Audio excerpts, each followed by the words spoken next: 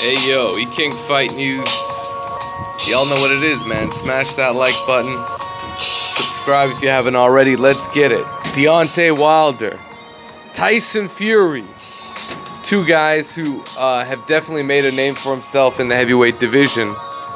And they look like they're going to be fighting each other next. More on this, guys. E King Fight News.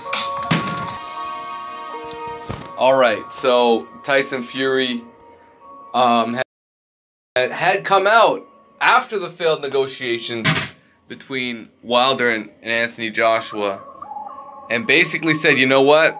Knock on my door, Wilder, and I ain't no bitch, man. You want to make a fight happen? Perhaps we can get it on. You know, that's that's basically kind of what Tyson Fury was saying, if I had to paraphrase.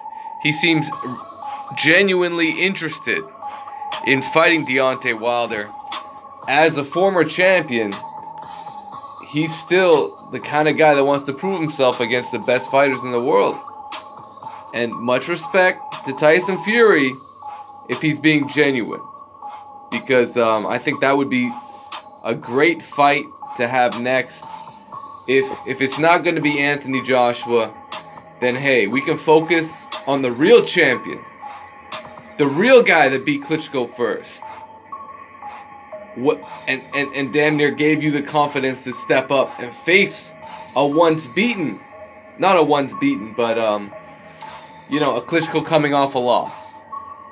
And at the end of the day, um, Deontay Wilder is definitely up to the task. You know, just check out the interview he had with Brendan Schaub uh, that was taped on Thursday.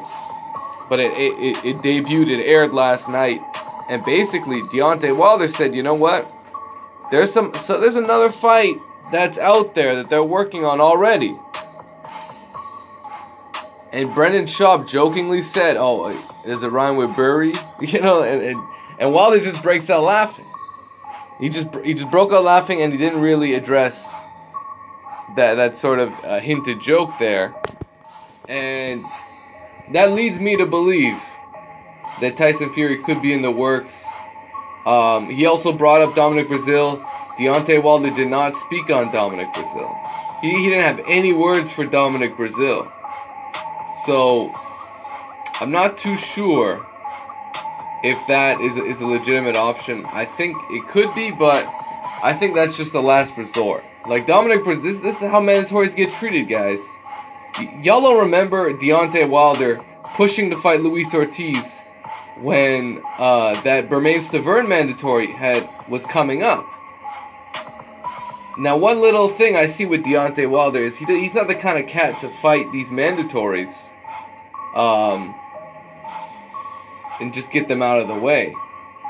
You know, he's the kind of guy that'll go for some of these bigger fights, the Joshuas, the Luis Ortiz, the Tyson Furies. He, he would, I, I, I swear, Deontay Wilder's the kind of guy that would rather get back in the ring with a Luis Ortiz, legitimately call him the number two heavyweight in the world, rather than fight a mandatory in Dominic Breazeale, which is a stay busy fight at best.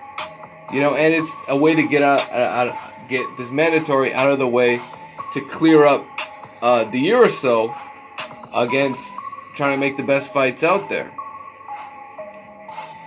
And also on this interview, Deontay Wilder went in on the fact that there's a reason why he didn't fight any unifications. It's because when it came right down to it, ain't no other champions were, were trying to see Deontay Wilder in the ring. Ain't, ain't no is how how many other cha- how many times do you hear oh Klitschko say he oh he offered Deontay Wilder something but he turned it down. It was the last time you heard that from any of these cats. Like honestly, did, did were any of them in negotiations to fight Deontay Wilder? Not at all. There's a reason why you can't blame that on Deontay Wilder. Wilder at the at the time um when did he win that title? He's had 10 defenses, so he's had it for quite some time. Uh, I believe he took that title around 2015, if I'm not mistaken. 2015, late 2015. and you know he he he held it down. You know, had some fights in Alabama. He had some fights in Alabama. He had some fights in other areas of the U.S. You know, fought the Chris Arreolas, fought fucking um, Szpilkas and shit. Knocked them all out. Fucking broke his hand in the cl- in the Arreola fight. Kept fighting. Showed no signs of quitting. Have we ever seen Anthony Joshua injured in the ring? You ever see him hurt his hand? I wonder how he would feel. I wonder how he would react if something didn't go his way. I mean, other than getting knocked down in the Klitschko fight, yeah, and getting up off the mat, coming back, hurting Klitschko with a massive uppercut that just took him out of the fight. Um, Joshua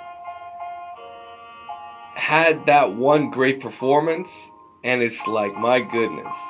All, all these fans look at that like it's the be all end all. Like, this guy's gotta be the greatest. He knocked out Clit. Like, yo, why don't you look at Ross Puritty's record, guys? Just Google Ross Puritty.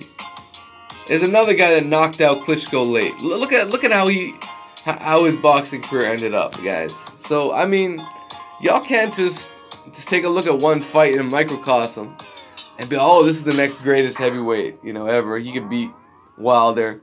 He just didn't want to do it that one time, right? That one time when he got offered 50 million to fight in the U.S., he didn't want to do it that one time, right? Oh yeah, oh yeah, we can forget about that. Anyways, the whole point is Tyson Fury is looking like he wants some smoke. And it seems like Tyson Fury's looking for a big fight. Maybe he got the ring rust off. Maybe he just had to have a shit performance to have something to come back to. And Deontay Wilder, I'll tell you what, Tyson Fury is a tougher fight than an Anthony Joshua. Stylistically, style style wise, it's a it's a tougher fight. It's not an easier fight. Um, there's just a benefit in the fact that Tyson Fury is is coming off a layoff, but at the same time, is supposed to be elite level. He's supposed to be championship level. He's supposed to be still training, getting back into shape. And who knows how this might go down, but um, I hope Deontay Wilder considers Tyson Fury as a legitimate option. And I hope there's some negotiations that come out of it, man. E King Fight News, more on this. And I mean, legitimately, the hype that would surround a Deontay Wilder Tyson Fury fight, that would just be out of this world. Like, it would be. It would be insane, like knowing the, the, the character of Tyson Fury combined with like how Deontay Wilder builds up a fight. That that shit would be lit. It would be off the chain. It would it would definitely top a Anthony Joshua versus uh, Alexander Povetkin, wherever that showdown's going down. I, I believe that will go down in the UK. I, I don't know if uh, that fight has truly been finalized. Eddie Hearn said it was nearly finalized damn near three weeks ago.